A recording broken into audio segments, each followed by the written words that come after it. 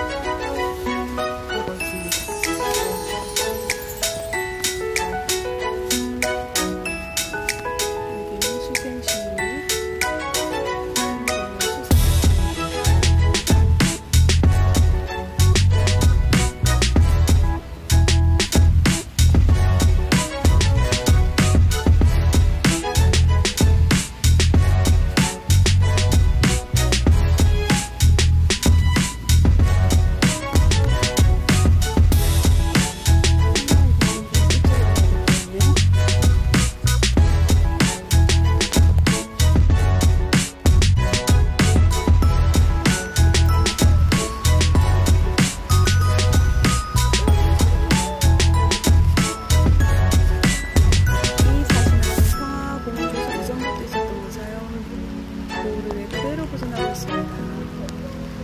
와, 사시나무.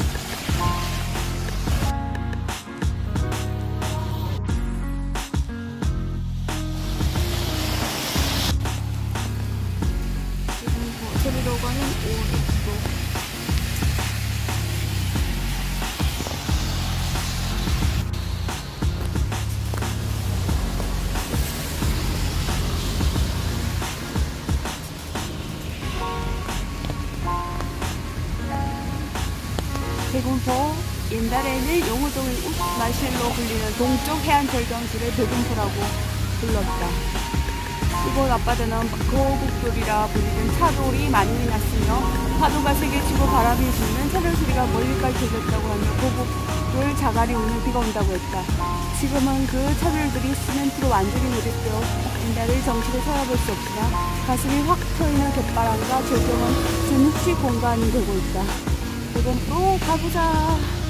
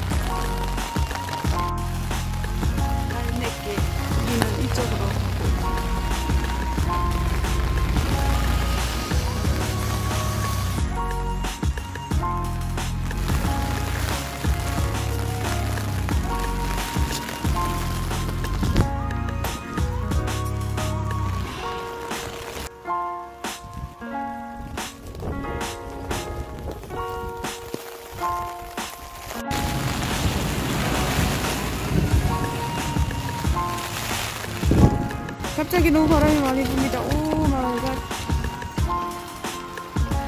도장을 찍고 가야 하는데 지금 바람이 많이 붑니다.